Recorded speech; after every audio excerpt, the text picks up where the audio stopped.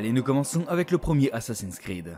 Nous remontons jusqu'en 1191. L'histoire se passe en Terre Sainte, plus précisément en Palestine, lors de la troisième croisade. Nous incarnerons Altaïr, un jeune assassin talentueux mais manquant de discipline. Ce faisant, il commettra une entrave au règlement en tuant de sang-froid un innocent lors d'une mission où il devait retrouver un artefact avant un certain Robert de Sablé. Après en avoir rééchappé, son mentor Al-Mualim le destitue de son grade, mais lui laisse une chance de se racheter. Il lui confiera 9 cibles à tuer. C'est alors qu'Altaïr chevauchera aux quatre coins de la Terre Sainte afin de repérer et assassiner ces 9 personnages.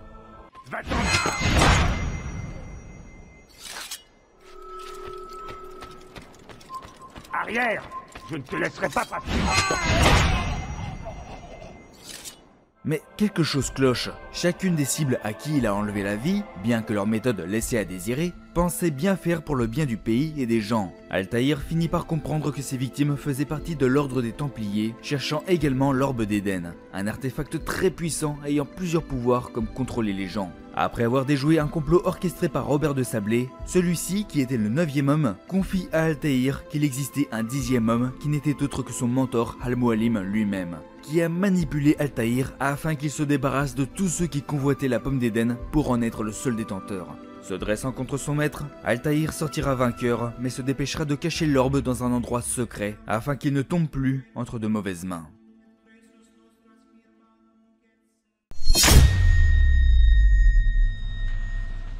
Un an avant les événements d'Assassin's Creed, après une mission inconnue, l'assassin Altaïr arrive à Alep, assiégé par les Templiers, recherchent quelqu'un dans la ville sur ordre de leur grand maître, l'ordre basilique.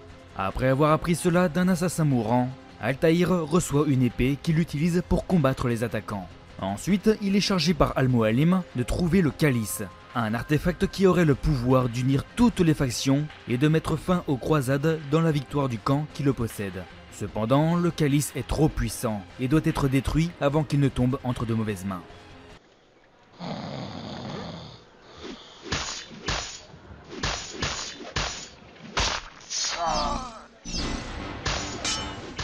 Altaïr commence son voyage à Damas, où il apprend d'un Rafik que le calice est conservé dans le temple du sable, et qu'il lui faut trois clés pour y pénétrer. Altaïr obtient la première clé à Damas d'une danseuse de cirque mystique nommée Fajera, avant de se diriger vers Tyr. Là, il apprend que la seconde clé a été retrouvée par Roland Napule, le chef de l'hôpital local que l'on dit tordu. Altaïr assassine Napule et obtient la clé. Il se rend ensuite à Jérusalem et découvre que Lord Basilic a la troisième clé. Apprenant que Basilisque assistera à une fête organisée par le roi dans sa villa, Altaïr s'y infiltre et l'affronte. Il le bat et récupère sa clé. Mais le grand maître templier parvient à s'échapper. Plus tard, les Templiers attaquent un agent assassin, Azad, et volent sa carte menant au Temple du Sable. Altaïr les suit jusqu'à leur tour, où ils tuent leur chef, connu uniquement sous le nom de le Maître.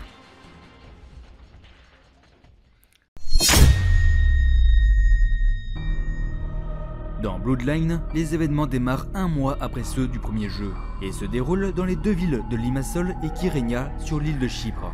Altaïr doit protéger la pomme d'Éden, et pour cela, il doit continuer sa traque aux Templiers restants. Mais ces Templiers se sont installés à Chypre, et Altaïr les a suivis pour savoir quels sont leurs plans, et les éliminer tous s'il y a une opportunité.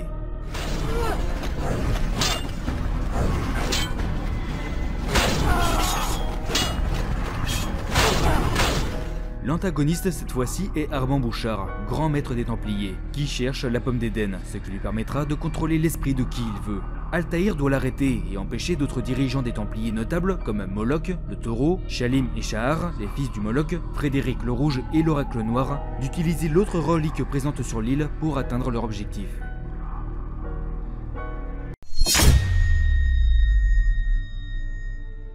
Assassin's Creed 2 L'histoire se passe en 1476, lors de la Renaissance. Nous nous retrouvons à Florence en Italie, dans la peau d'Ezio Auditore da Firenze, un jeune séducteur de 17 ans issu d'une famille nombreuse, aisée et notable. Mais sa vie va basculer le jour où sa famille se fera accuser à tort de trahison par un certain Uberto Alberti. Ezio est chargé par son père de récupérer une lettre, mais il découvre que celui-ci faisait partie de la confrérie des assassins, et il assistera impuissant à la pendaison de son père et de ses deux frères. Il n'aura alors pas d'autre choix que de quitter Florence avec sa mère et sa sœur, et vont devoir trouver refuge chez l'oncle Mario à Monteriggioni.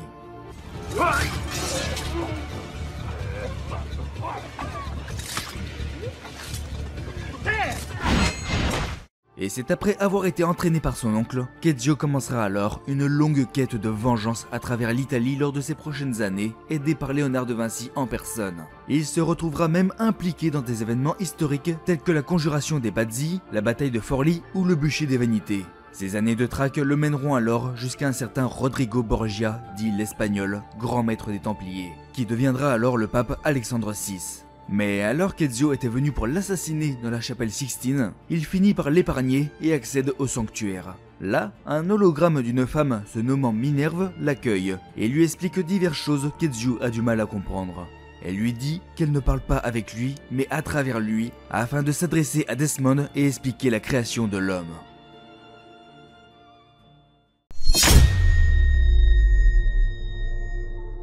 En 1491, lors de sa recherche de la pomme d'Éden, volée par Girolamo Savonarola, Ezio Auditore da Firenze est convoqué par son allié Antonio de Magnanis à Venise pour rencontrer l'un de ses contacts d'Espagne, Luis de Sant'Angel. Représentant le navigateur Christophe Colomb, Luis demande à Ezio d'assurer la protection du premier, craignant que quelqu'un ne tente de l'assassiner. Ezio accepte de l'aider après avoir appris les liens de Christophe Colomb avec le grand maître des Templiers, Rodrigo Borgia.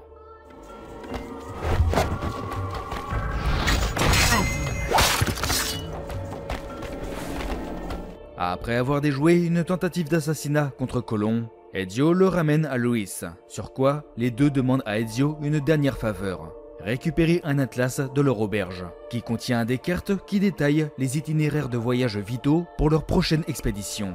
Ezio récupère l'atlas et l'apporte à Luis, qui, avant de partir, révèle que la plupart des assassins espagnols ont été arrêtés par Thomas de Torquemada dans le cadre de l'Inquisition espagnole. Ezio annonce que sa recherche de la pomme devra être reportée, car il se rend en Espagne pour y reformer la confrérie. À Barcelone, il recherche le quartier général local des assassins, pour le trouver occupé par des soldats de l'Inquisition.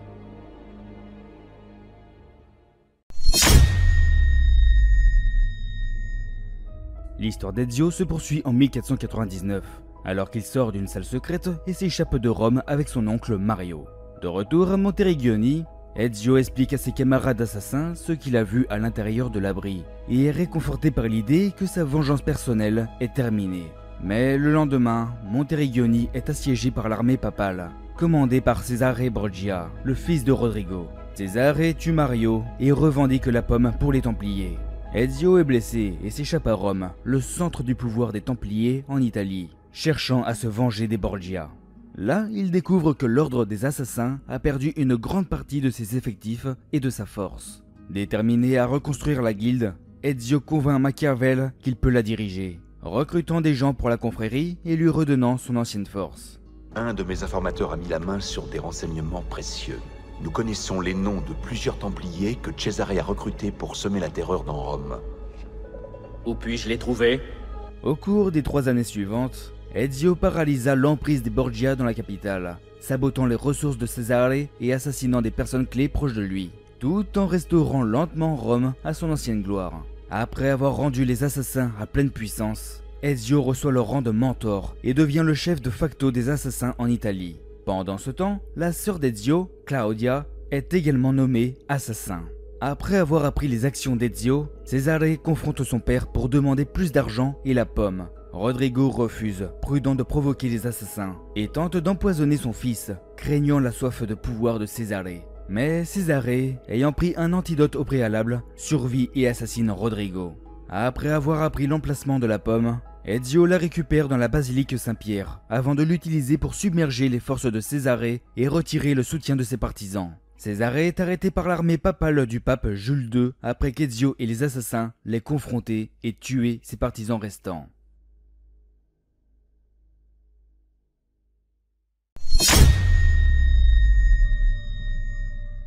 En 1511, Ezio, 52 ans, devenu un grand maître assassin, se rend dans l'ancienne forteresse des assassins à Masyaf pour en savoir plus sur leurs secrets. Mais il trouve l'endroit occupé par les Templiers, qui tentent de l'exécuter. Ezio s'échappe et découvre l'entrée d'une bibliothèque souterraine construite par Altaïr, qui nécessite 5 clés pour être déverrouillée. Les Templiers ont trouvé une clé sous le palais du sultan ottoman et recherchent le reste à Constantinople. En voyageant là-bas, Ezio rencontre Youssouf Tazim, chef des assassins ottomans, et se lie d'amitié avec le jeune étudiant Suleiman. Ezio apprend bientôt que les clés ont été cachées par Niccolo Polo et rencontre Sofia Sartor, une voyageuse et collectionneuse italienne. Ezio trouve les clés avec l'aide de Sofia, tout en développant des sentiments pour elle.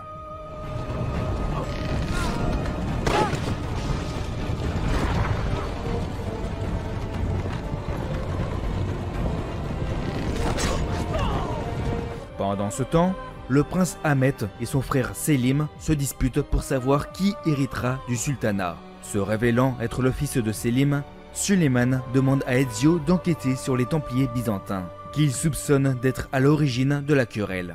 Ezio découvre que Manuel Paleologos, avec le soutien des Templiers, tente de lever une armée pour renverser les Ottomans et rétablir l'Empire byzantin. Ezio se rend à Cappadoce, tue Manuel et récupère la clé finale mais apprend qu'Ahmet est le véritable cerveau derrière le complot des Templiers pour ouvrir la bibliothèque d'Altaïr.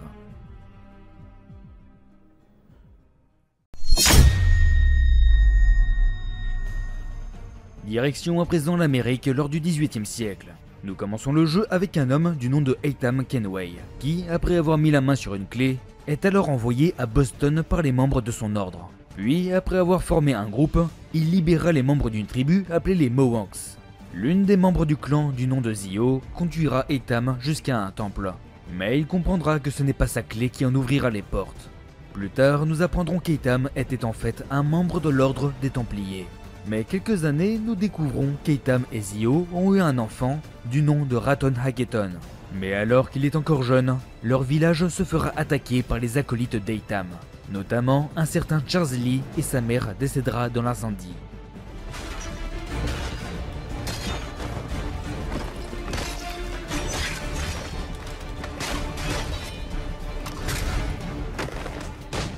Lors de son adolescence, Raton Aketon apprend que sa tribu est la gardienne du temple.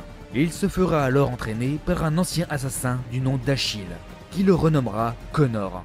C'est après avoir appris les techniques des assassins et acquis ses lames secrètes que Connor entreprendra de traquer les membres des Templiers afin de protéger sa tribu, mais aussi de combattre pour la liberté et la paix dans son pays. Mais Connor a de plus en plus de mal à remplir sa mission d'éliminer les Templiers. Ayant œuvré avec succès avec Eitam, Connor décide d'essayer de le convaincre de le rejoindre dans sa vision de la liberté et de la paix après qu'ils auront éliminé Charles Lee.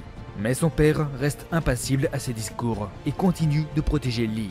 Disgracié par Washington depuis la bataille de Momot et réfugié au Fort George, Connor reste cependant déterminé à protéger sa tribu, quitte à participer à des guerres historiques et surtout quitte à devoir s'opposer à son propre père.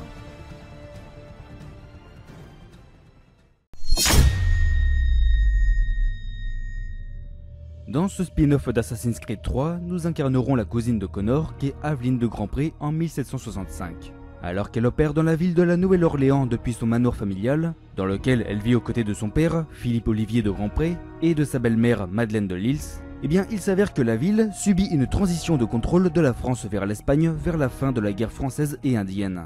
Aveline découvre un complot pour contrôler la Louisiane, orchestré par le templier Raphaël Joaquin de Ferrer. Pour contrer cela, elle assassine deux hommes qui l'aident à atteindre ses objectifs, le gouverneur français Jean-Jacques Blaise d'Abadi et un assassin renégat nommé Baptiste. Un an après ces assassinats, Ferrer quitte la Nouvelle-Orléans, tandis que son associé, Antonio de Huloa, est nommé nouveau gouverneur espagnol de la Louisiane. Nous devons chercher la même chose.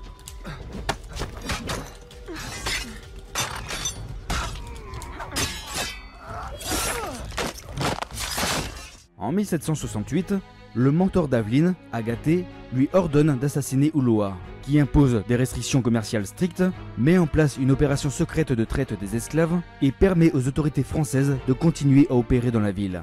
Cependant, Aveline épargne Ulua en apprenant que les esclaves envoyés hors de la ville ont été affectés à un site de fouilles templières à Chichen Itza et lui ordonne à la place de démissionner de son poste de gouverneur et de quitter la Nouvelle-Orléans. Contre les ordres d'Agaté, Aveline se rend à Chichen Itza déguisée en esclave et rencontre sa mère Jeanne, une ancienne assassine disparue dans sa jeunesse. Elle rencontre également des et apprend qu'il a reçu l'ordre de son supérieur, connu uniquement sous le nom de Compagnie Man, d'utiliser les esclaves pour trouver une ancienne chambre construite par la première civilisation. Aveline entre dans la chambre, récupère la moitié d'un artefact appelé le disque de prophétie et tue des. Jeanne, craignant qu'Agathé n'envoie Aveline pour la tuer pour avoir trahi les assassins, a averti sa fille de ne pas lui donner le disque.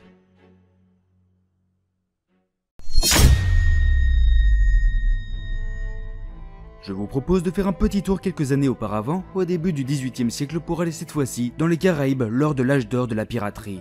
Nous incarnerons cette fois-ci le gallois Edward Kenway, qui n'est autre que le grand-père de Connor. Alors qu'il n'est encore que corsaire, Edward se retrouvera naufragé sur une île suite à une bataille navale. Il fera alors la rencontre d'un assassin du nom de Duncan qui se montrera hostile envers lui. C'est alors qu'Edward le tuera, puis fouillera son corps en trouvant une lettre disant que l'assassin avait pour mission de donner une clé à un certain Torres à la Havane. En quête d'une récompense, Edward décide de prendre sa tenue et de se faire passer pour Duncan. En rencontrant ce fameux Torres, il découvre qu'il est un grand maître de l'ordre des Templiers à la recherche d'un lieu qui se fait appeler l'Observatoire. Mais peu satisfait de sa récompense, Edward décide de rouler Torres et de se rendre lui-même à l'Observatoire. Malheureusement, il se fera démasquer, puis embarquer dans un navire duquel il parvient à s'échapper avec un certain Adewale.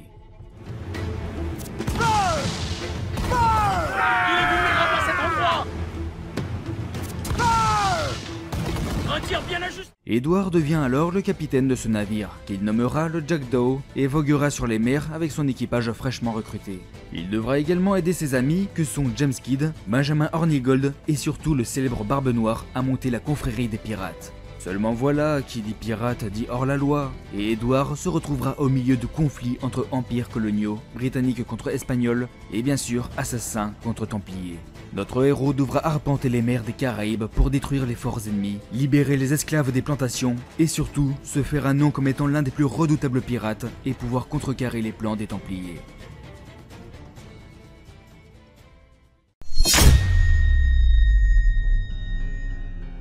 En 1752, dont les événements se passent entre Assassin's Creed 3 et 4, Shay Patrick Cormac est une nouvelle recrue de la confrérie coloniale des assassins. Alors que Shay s'entraîne avec l'équipe de l'Atlantique Nord sous la direction de l'assassin mentor Achille Devanport, il s'avère qu'un jour, l'assassin Adewale arrive avec la nouvelle que Port-au-Prince a été dévasté par un tremblement de terre lors de la recherche d'un temple précurseur. En raison de son expérience en tant que capitaine de navire, Shay est chargé de récupérer une boîte et un manuscrit des précurseurs auprès des Templiers. Cependant, il commence à remettre en question les motivations des assassins, après qu'ils aient refusé d'engager le dialogue avec les Templiers, ordonnant à la place à Shay de les assassiner quelles que soient les circonstances.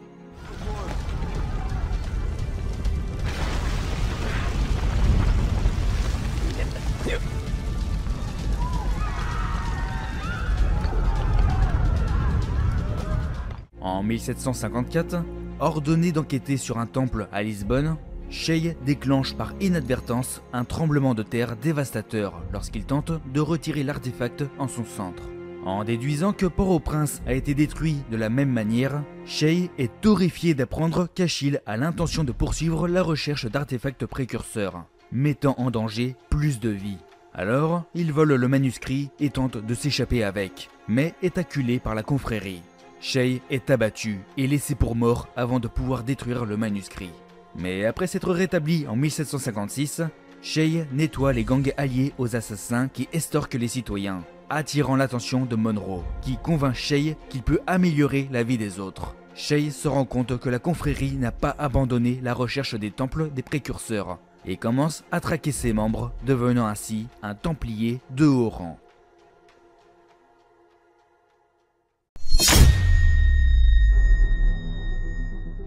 Nous l'avions attendu et il a fini par arriver. Assassin's Creed Unity se passera donc dans notre chère France et pas n'importe quand, vu qu'il s'agit de la fin du XVIIIe siècle. L'histoire se passera donc dans un Paris remarquablement fidèle, avec des monuments historiques comme la cathédrale de Notre-Dame ou le château de Versailles. nous incarnerons cette fois-ci le jeune Arnaud Dorian, qui, enfant, verra son père mourir, assassiné par Sheikh Cormac lui-même. Arnaud sera alors adopté par François de la Serre. Mais ce que Arnaud ignore, c'est que son père adoptif était le grand maître des Templiers. Cependant, il sera lui aussi assassiné et Arnaud se fera accuser à tort. Mais une fois en prison, il fera la connaissance de Pierre Bellec, qui lui apprend qu'Arnaud et son père font partie de la lignée des assassins, et le fera alors entrer dans la confrérie.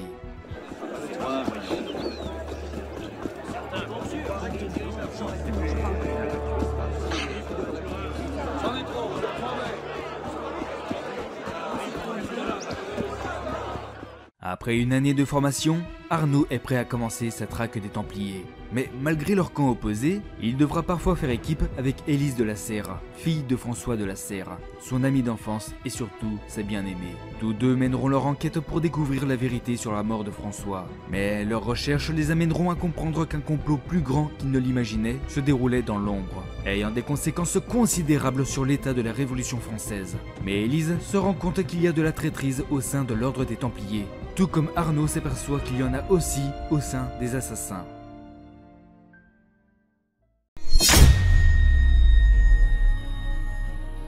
Assassin's Creed Chronicles, trois histoires avec différents personnages, lieux, dates et événements. Le premier se déroule dans la Chine impériale du XVIe siècle, sous la dynastie Ming et suit Chao Jun, qui retourne en Chine après un long voyage en Europe où elle s'entraîne avec le légendaire Ezio Auditore da Firenze et apprend la clé pour libérer son peuple. Sa mission est d'éliminer les 8 tigres, un groupe de templiers influents qui dirige la Chine depuis l'ombre et qui a supervisé l'extermination de la plupart des assassins chinois. Ensuite, en Inde du 19e siècle, pendant l'Empire sikh, au milieu d'un conflit avec la Compagnie des Indes orientales pendant les guerres anglo-sikhs, nous aurons Arbaz Mir, à la suite de l'assassinat du Maharaja Karak Singh, des agents templiers infiltrés au sein de la compagnie tentent de renforcer leur contrôle sur le pays durant cette période d'instabilité politique, ainsi que de trouver d'autres sites précurseurs. Arbaz parvient à retarder les plans des Templiers en volant le diamant Kohinoor, considéré comme un puissant artefact précurseur.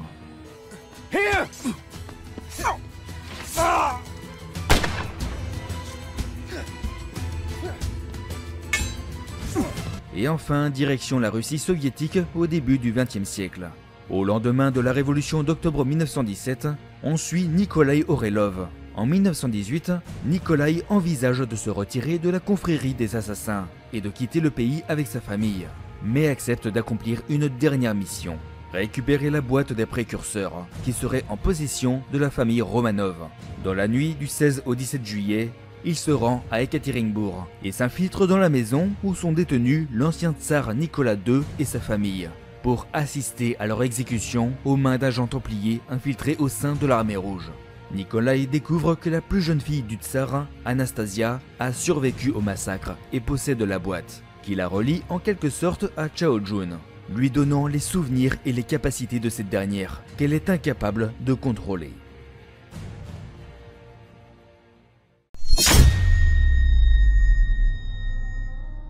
Syndicate est le jeu qui se rapproche le plus de notre ère vu qu'il se passe en 1868 lors de l'ère victorienne et de la révolution industrielle à Londres.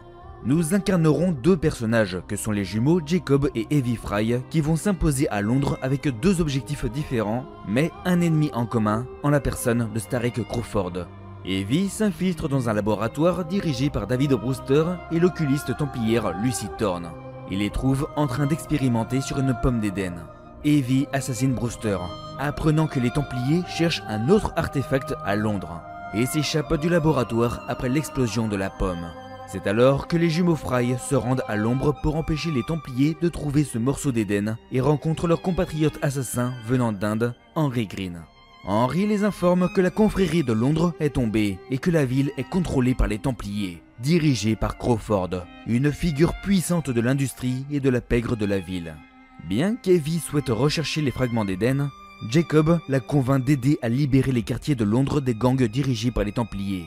Dans le processus, ils fondent leur propre gang, les Rooks, et se font des alliés tels que Clara Odea, Frédéric Aberline et Alexander Graham Bell.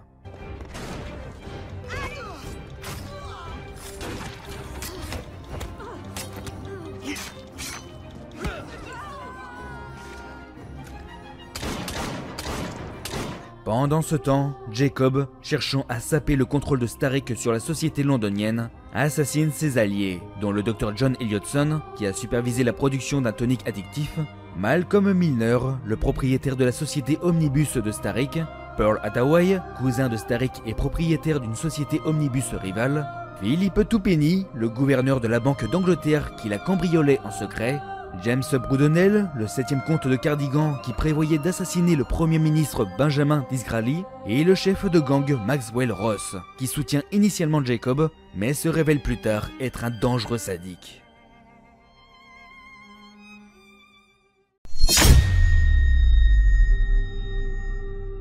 Mais alors, d'une part, nous allons faire un sacré bond en arrière, car nous nous retrouvons à une époque précédente de peu Jesus Christ. D'une autre, nous allons découvrir l'origine des assassins. Et encore d'une autre, nous allons avoir droit à un nouveau gameplay de style RPG dans un monde ouvert. Plus précisément dans l'Égypte antique lors du règne de Cléopâtre et de Jules César.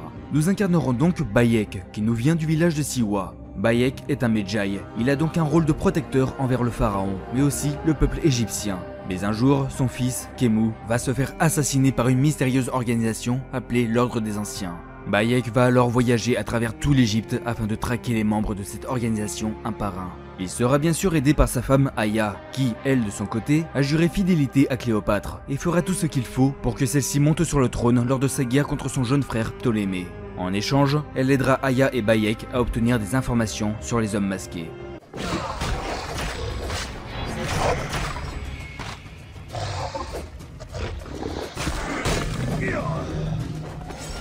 Du coup, comme je vous l'ai dit, le jeu s'est approprié le style de RPG. Il est donc question de gagner des points d'expérience pour augmenter de niveau, choisir des armes selon certains critères et améliorer ses compétences. En voyageant, vous pourrez découvrir les lieux les plus célèbres de l'Égypte tels que les pyramides, le Sphinx ou bien même le phare d'Alexandrie.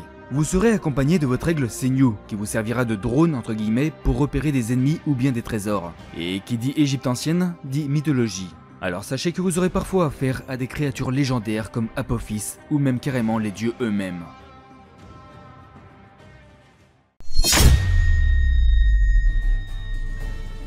En 431 avant Jésus-Christ, au début de la guerre du Péloponnèse, Cassandra si vous jouez avec la femme ou Alexios si vous incarnez l'homme sera un Mystios. Un mercenaire originaire de Sparte qui fut jeté avec son frère ou sa sœur, selon votre personnage, d'une falaise du mont Taïget étant enfant avec le bout de la lance du roi Léonidas. Ayant pour surnom le porteur d'aigle, le Mystios est engagé par un mystérieux marchand nommé Elpenor pour assassiner le loup de Sparte dans la police de Mégaris. Et quitte Kefalonia après s'être lié d'amitié avec un capitaine de navire nommé Barnabas. Et en prenant le commandement de son navire, la Drestia, le porteur d'aigle apprend que le loup de Sparte est en fait le surnom de Nicolaos et que celui-ci n'est en fait pas son père biologique, et a un autre fils adoptif, Stentor, et que la mère du protagoniste, Myrine, a quitté Nicolaos et Sparte peu de temps après l'incident du mont Athènes Un jour glorieux pour Sparte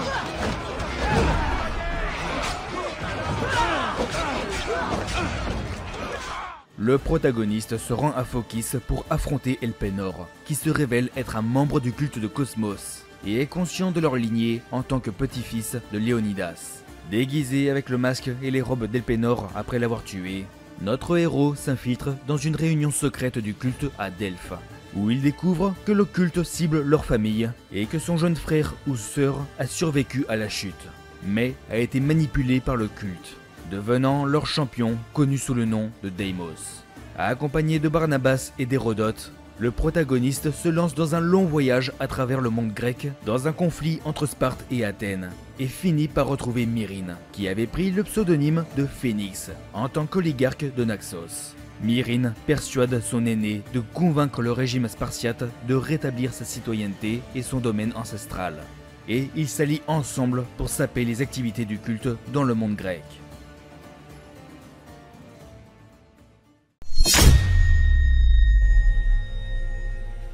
Et maintenant, place à la culture nordique à la fin du 9e siècle dans Assassin's Creed Valhalla. Notre histoire débute en Norvège où nous suivons le jeune Eivor, fils ou fille du Jarl Varin. Suite à l'attaque du clan Raven et de la mort de ses parents, Eivor décide de se venger et de suivre son ami d'enfance Sigurd avec l'aide de Bassim et son apprenti Itam, un membre de ceux qu'on ne voit pas, qui fera d'Eivor un nouvel assassin. Accompagné d'autres vikings du clan Raven, il décide alors de traverser la mer pour se rendre en Angleterre, afin de pouvoir s'installer sur des terres plus hospitalières. S'engage alors une grande conquête des quatre royaumes anglo-saxons, que sont le Wessex, Northumbrie, East Anglie et Mercie, dirigé par Alfred le Grand.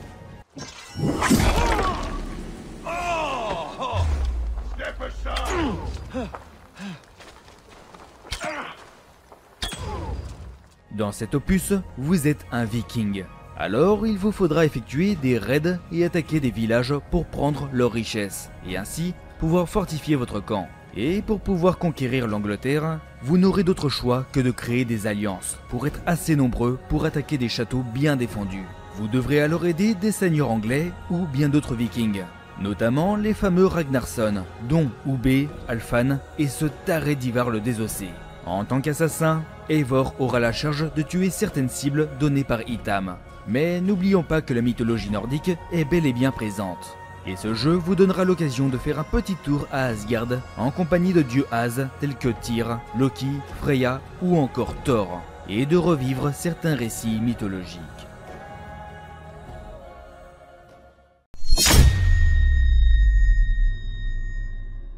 Nous terminerons avec Mirage. Quelque temps avant les événements de Valhalla et dans un pays loin du nord de l'Europe, se trouve le jeune voleur Bassim, qui est pris de cauchemars chaque nuit aux griffes d'un djinn, un démon dans la culture musulmane. Bassim voudrait intégrer ce qu'on ne voit pas, et pour essayer de démontrer sa valeur, il va tenter, avec son ami Nehal, de se faufiler dans le palais du calife pour voler un coffre recherché à la fois par les cachés et par l'ordre des anciens. Bassim récupère dans le coffre un artefact en forme de disque, qui affiche un message holographique avant d'être confronté au calife Al-Mutawakil. Nihal tue le calife pour sauver Bassim et ils fuient tous les deux du palais. Mais en représailles au meurtre du calife, les gardes commencent à massacrer tous les voleurs d'Anbar, y compris de nombreux amis de Bassim, et il accuse Nihal avec colère avant de se séparer. Désormais en fuite, Bassim parvient à s'échapper de la ville avec l'aide de Roshan bin Halad, et elle l'emmène à la forteresse de montagne des cachés à Alamut.